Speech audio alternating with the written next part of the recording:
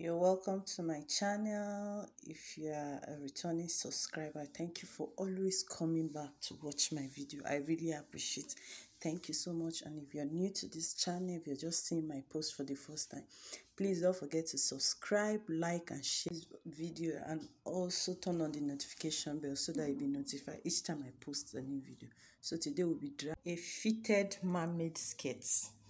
Fitted mermaid skirt with a tail so let's go into the video.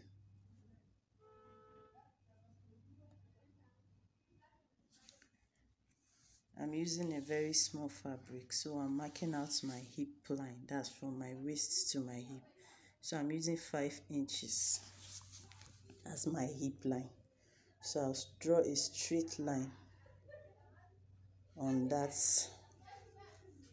mark I made that's from my waist to my hip I use 5 inches. Then I'll take my nail measurement. That's my nail line measurement. From your waist to measure down to your nail. So I'm using 11 inches here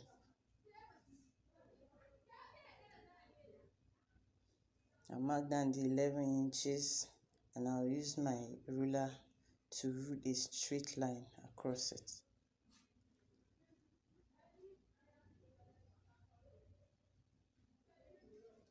So,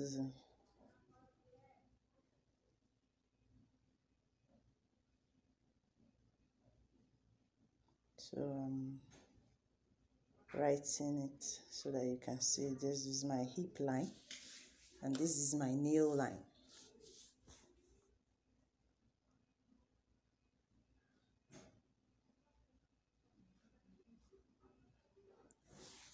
And my full skirt length.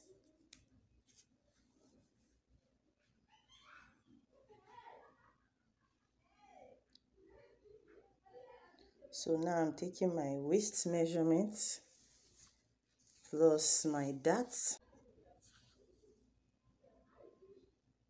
which is 5 inches so I added 1 inch for the dart my waist I use 5 inches. I used 1 inches for the dart then the hip measurement.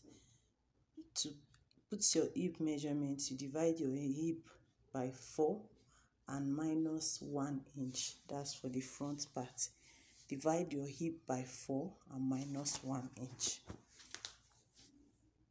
So I'm connecting it from my waist to the hip.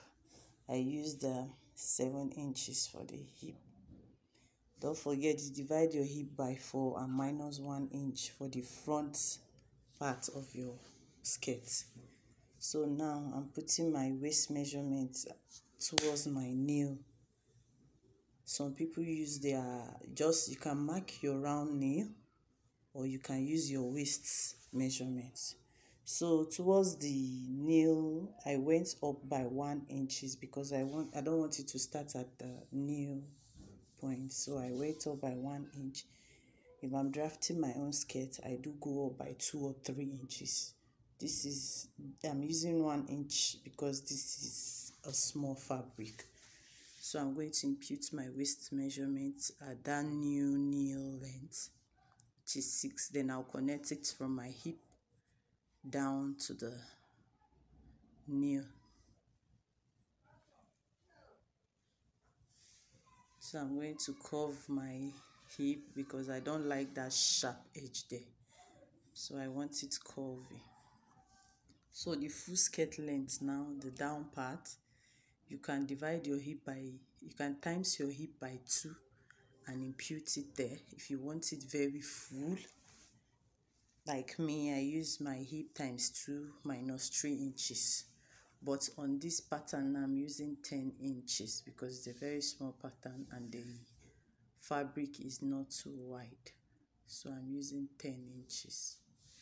So I curved it from the new nail line down to the full skirt length. So I'm curving the nail because I don't like those uh, sharp edges there. So I'm going to curve it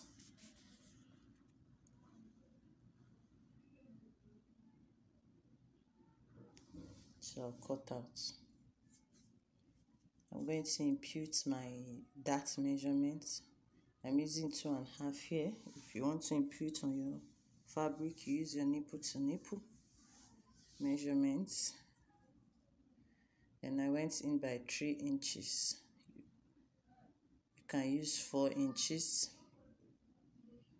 then I go in by half half inch and connect it to the middle.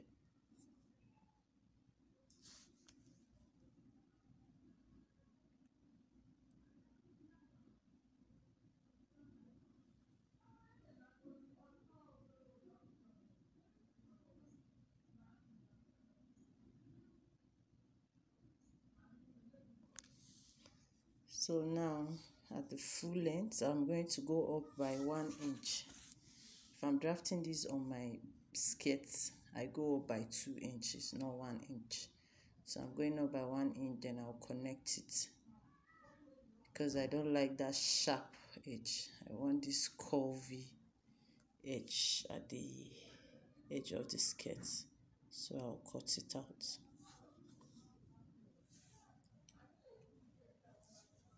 so we are done with our front skirt pattern. So let's go to the back pattern. So this is the back pattern. I went in by three inches and i draw a straight line. Then that one inch we deducted from the front body. You know we took hip measurements divide by four minus one. So you go in by one inches too then you rule a straight line so the line at the middle from that tip of the skirt to that little line is the one inches. Then from that line backward is the three inches. So i'm going to now connect from my waist to my hip. You can see i've drawn the line my hip my knee line down to the back so I'll connect from my waist to that one inches and my hip line. Can see. This was why we deducted one inches from the front. Then I'll connect it back to my nail line and curve it out. See how I'm curving it curving it towards the line. And make sure when you're drafting your back skirt your skirt should be longer the back skirt length should be longer than the front skirt length. For this back skirt length i used i i from the full length i now added nine inches. So i added nine inches because we are sewing a mermaid skirt with tail so if you need that tail your skirt should be your back skirt length full length should be longer than the front. You can either add 15 depend on how long you want it. So i'm connecting now from my from that's my nail line that's my new nail line down to the nine inches. As you can see so I'll connect it from that 9 inches to the full length of the skirt with a curve ruler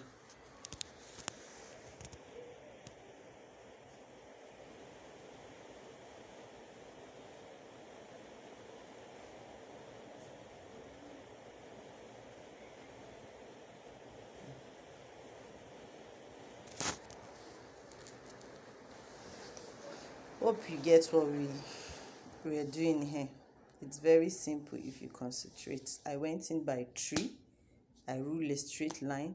And i went in by one inch again. One inch we deducted from the front. And now rule. So from that one inch that is where i placed my front skirt the one we've already drafted. So i connected from the waist to the hip with a curve if you looked at it. Then from the hip to the knee, again with another curve. Then down to the nine inches which we left at the down. So now i'm cutting it. Watch how i cut.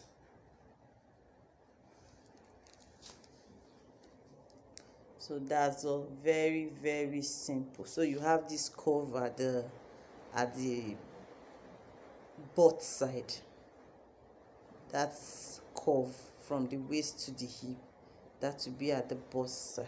As your bum bum. So when you're cutting on your fabric don't forget to add your allowances.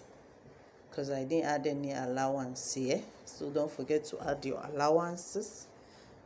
Your your zipper allowance that's the both side. You add one one inch. Then the other side you can add one one inch too don't forget to take your dart measurements at the back so you can just fold it and notch it so that when you're sewing you know where the darts towards the back pattern is. If you watch this video up to this place please don't forget to subscribe assist your girl. Your subscription means a lot to me like share my video and turn on the notification bell so that you'll be notified every time i post a video. Thank you guys so much for always supporting me. I really appreciate. Thank you thank you thank you. Thank you to all my subscribers. I love you guys. Thank you guys for always tuning in to watch my videos. And those people that are just coming across my videos please please subscribe share like turn on the notification bell so that you'll be notified each time i post a new video. And you can drop your comments. I appreciate thank you so much